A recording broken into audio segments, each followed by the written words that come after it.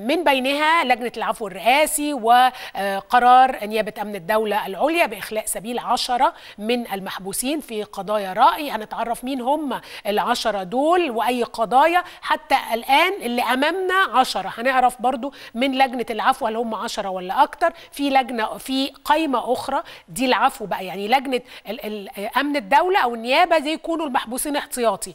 الجزء الثاني اللي إحنا منتظرينه العفو الرئاسي دول اللي اخذوا آه، احكام وهنتمنى إنه يعني نشوفهم. طبعا صور الناس صور صور الأهالي صور الناس شباب وهم خارجين. دي صور الحقيقة بتثلج صدورنا. إحنا مش عايزين الولاد دول والشباب دول يكونوا على الإطلاق عشان قالوا رأي عشان قالوا فكرة عشان قالوا comment على ال social media عشان كتبوا حاجة إن هم يكونوا محبوسين.